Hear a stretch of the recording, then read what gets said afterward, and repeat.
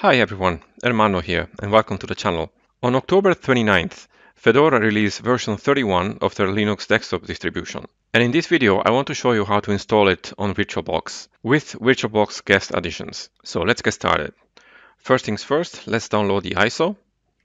So I'm gonna pull up getfedora.org here, click on download now on workstation and choose the ISO since I need the ISO as I will install this on VirtualBox. So I don't need to download this as I've done this already. So I can now switch to VirtualBox and I'm going to minimize this window. So let's start installing the virtual machine. I'm going to click on new, give it a name. I'll call it Fedora 31. I'll bump up the memory size to 4 gigs and create the drive. I'm gonna give it 32 gigs and click create. Now, still a few settings I want to tweak here. I'm gonna click on settings, go to system, processor, and bump this up to two. Display, I'm gonna give this the max memory with 3D acceleration. And under storage, I'm gonna click on the empty IDE controller and select the ISO, which I already downloaded. And that's it. And I click OK and start.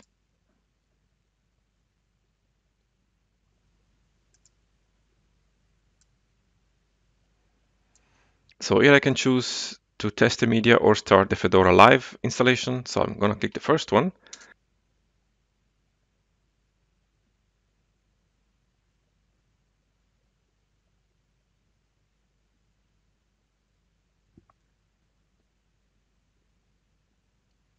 And there we go.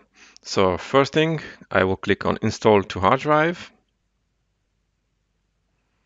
And I'm going to select English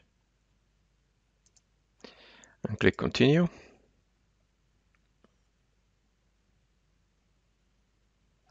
So then I'm going to select the keyboard here as I have a Swiss keyboard, otherwise I'll type in wrong stuff. And there you go. I'll delete the English one. I don't need this one. And for the installation, for the sake of this video, I'll just click on done to accept the default configuration. And now I'll begin the installation.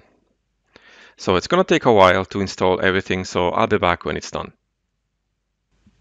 So Fedora is installed, so let's click on Finish Installation and I'll make sure first that I remove the installation media and click Finish. I'll now restart the machine.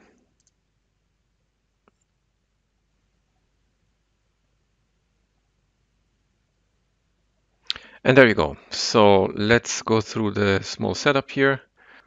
I'll just let the defaults here and I click next. I'm not going to connect any online account, so I'll skip this. Now create an account. So I'll put in my name and the username I want is this one, then the password. And click next and start using Fedora.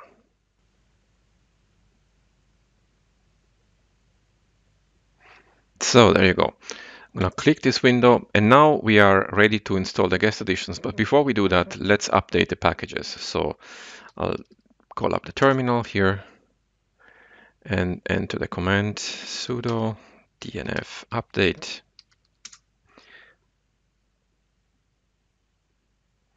Put in my password.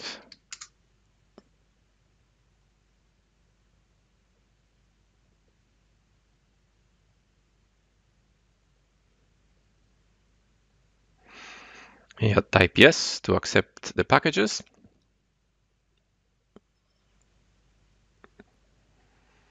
There you go. So before I restart the machine in order to make the packages available, I will install still some packages that I will need to install the guest additions. So those packages are install kernel devel,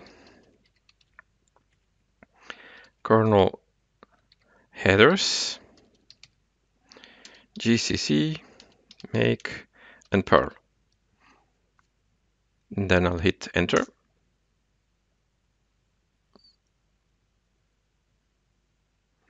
And yes, I'll accept the changes. And there you go. Now the last thing I want to do, I want to remove the guest additions which are already installed in Fedora as they offer an older version. So I'm going to do that by typing in dnf remove VirtualBox and the asterisk. So I'm going to find the package and that's the one I want to remove. So I'm going to click yes. There you go. And now I'm going to reboot the machine.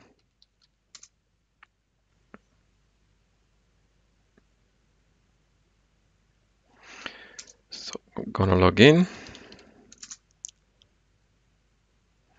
And there you go. First thing then I'll insert the guest additions CD image.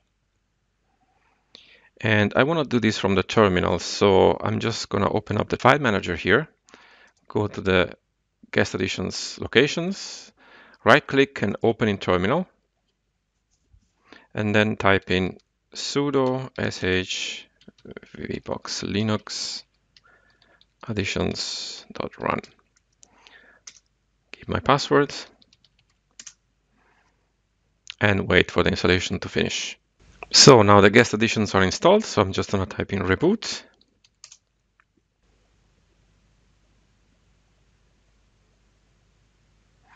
And I'm going to log in again.